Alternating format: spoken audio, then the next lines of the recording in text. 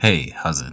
Today we're making the Fibonacci function using Python. We're going to implement the function using an iterative approach and a recursive approach. At the end, we'll refine our recursive approach using memoization. Let's begin. For our iterative version, we start by defining our function. We're taking in parameter n for which our function will return the nth Fibonacci number. So if we input 5, then we should get 3, which is the fifth Fibonacci number. Let's store our initial values 0 and 1 in the variables a and b. We know that if our function takes in 1, we need to return 0. And if we take in 2, we need to return 1. So let's create a condition. Now if n is equals to 1, we return 0.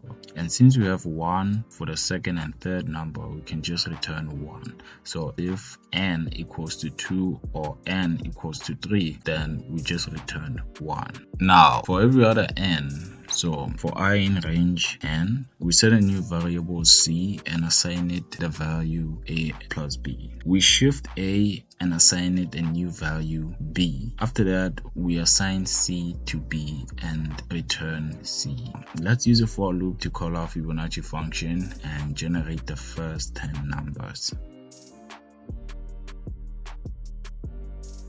Now, for our recursive approach, we need to call our recursive function with arguments n minus 1 and n minus 2 within our function since Fibonacci n is equal to Fibonacci n minus 1 plus Fibonacci n minus 2. We'll now store the result and finally return the result.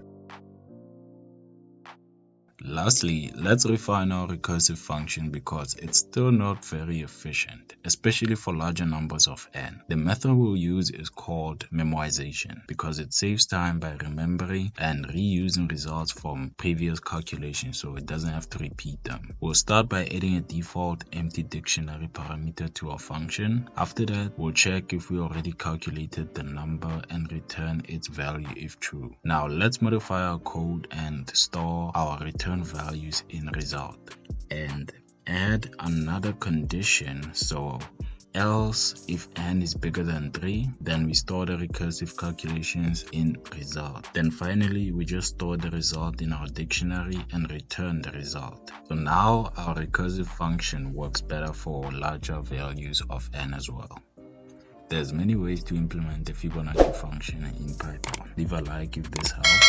I'll see you next time.